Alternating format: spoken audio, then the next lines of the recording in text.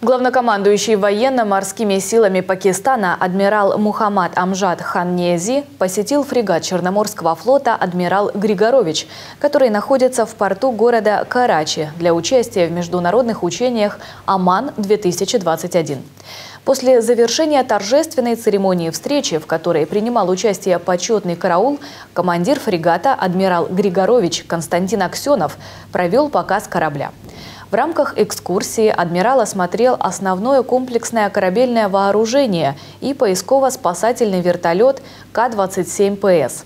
По завершению обзора фрегата главком ВМС Пакистана оставил памятную запись в книге почетных гостей. Мы гордимся возможностью представить э, военно-морской флот Российской Федерации такими современными кораблями в составе отряда новейший фрегат «Адмирал Григорович», патрульный корабль Дмитрий Рогачев и спасательное буксирное судно СБ-739. Все эти корабли и судна самые современные. Напомним, отряд кораблей военно-морского флота России прибыл в Карачи для участия в международных учениях «Аман-2021», которые проводятся в акватории Аравийского моря. В Минобороны России сообщили, что учения поделены на два этапа.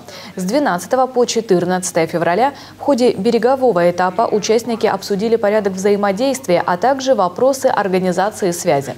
Морской этап учений запланирован на период с 15 по 16 февраля. Учение интересно тем, что дает нам возможность э, продемонстрировать свой высокий уровень подготовки, научиться э, чему-то новому у э, военно-морских сил иностранных государств, а также отработать вопросы взаимодействия и обеспечения безопасности плавания на море конкретно в этом регионе. Также сообщается, что в учениях «Аман-2021» помимо России и Пакистана будут задействованы корабли еще пяти стран, а за проведение маневров будут наблюдать более 30 иностранных военных делегаций.